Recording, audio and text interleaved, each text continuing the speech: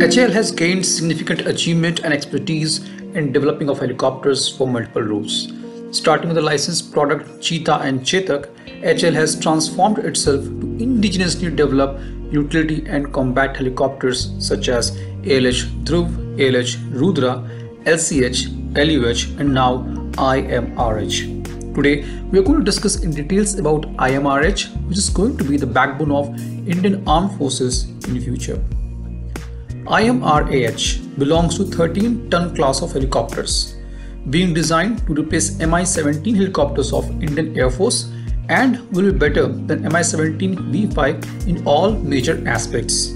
Considering the requirement of our armed forces, it's estimated that Indian Air Force, Army and Navy will procure 200, 100 and 14 IMRH helicopters respectively. IMRH is medium lift helicopters with combat capabilities such as counter-insurgency operations, troop support and evac operations. It is designed to operate in extreme weather conditions and high altitudes. IMRH is going to be 25.16 meter long with a height of 2.41 meter and width of 4.74 meter. It will be the most spacious helicopter in its category with troop carrying capacity of 24 to 36.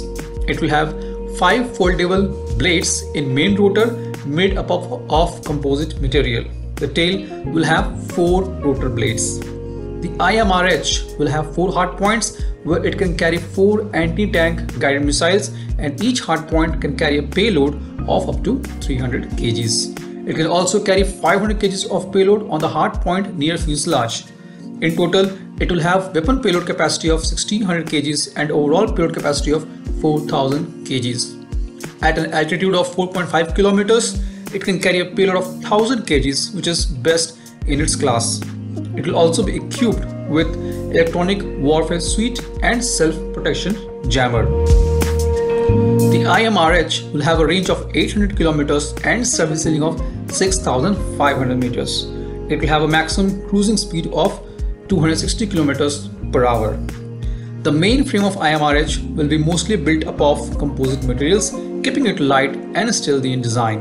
The airframe has been designed in modular fashion which will aid in the faster production and assembly of the helicopter. The IMRH cockpit will have a full glass smart cockpit with AI enabled and wide area multifunctional display. The helicopter will have a twin engine with dual channel FADEC and 200 kilowatt power. It will also have an APU with a battery for redundancy in case of engine failure. The digital design and the wind tunnel test of the helicopter and its component is complete. The three prototypes of this helicopter is expected on which various trials will be performed. This helicopter is going to be best in the class of utility helicopters with combat capabilities which can provide enough firepower and support when needed. This platform can further be enhanced to build Apache class combat helicopters.